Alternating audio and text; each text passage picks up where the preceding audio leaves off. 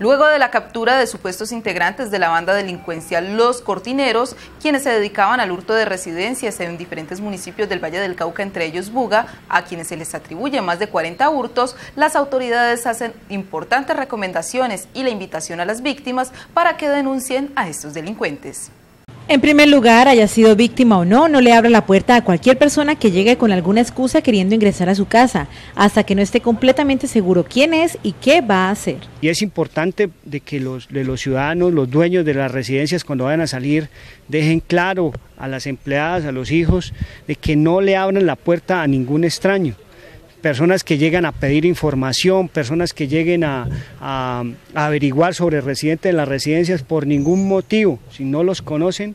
les abran las puertas, porque es de esta manera que están eh, ingresando a las residencias. Como siguiente medida, deje instrucciones claras de no abrir la puerta a extraños si debe salir de su casa, pues según las autoridades los hurtos a las residencias ocurren casi siempre por exceso de confianza. Para solicitarle a toda la ciudadanía en general de que de que nos ayuden con este tema de los, hurtos a las residencias. Eh, esto se está presentando producto de la confianza de los ciudadanos. Son personas que,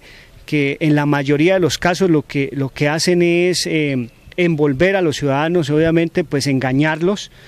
y de esta manera logran ingresar a las residencias y en las residencias ya obviamente ya se utilizan armas de fuego, ya se, se entra pues a, a ubicar las, las prendas, lo, más valioso que se tenga en el momento y a desocupar las casas pues lo más rápido para evitar la acción de las autoridades. Y Si usted ha sido víctima de ladrones que se hicieron pasar por integrantes de una empresa de cortineros, no duden en entablar su denuncia. Estamos recibiendo denuncias de parte de, los afectados. Esperamos eh, poder continuar con dando pues eh, resultados positivos referente a este tema. La policía espera que siguiendo esas indicaciones la comunidad se proteja y el resto de los criminales sean atrapados.